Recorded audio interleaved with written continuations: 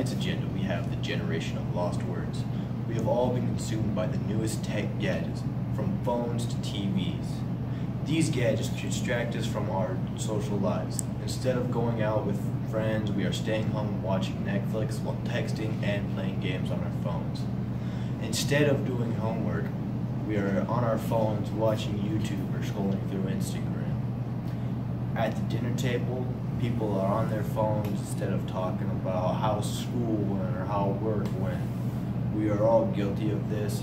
Just take a look at this average classroom. Do you think we should start the skit in the newsroom? No, I have what else is doing that.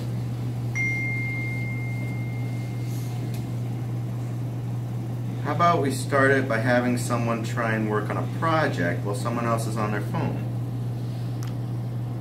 Sounds cool. See the problem. The dinner table isn't even sacred. The dinner table is plagued with technology abuse. The Adams family let us take a look into their typical dinner.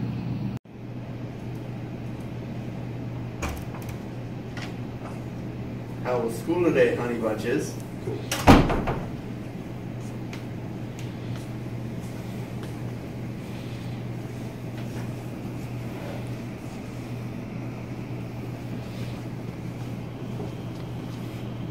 this amazing dinner I made for you.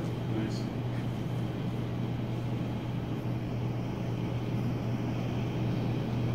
see the world around us is falling apart and our communication skills are dwindling thanks to phones and technology.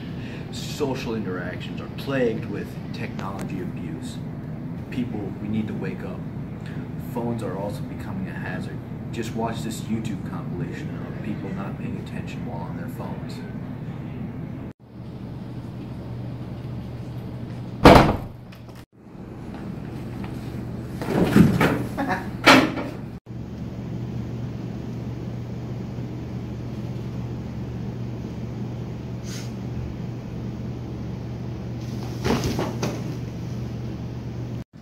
See what we are doing to ourselves?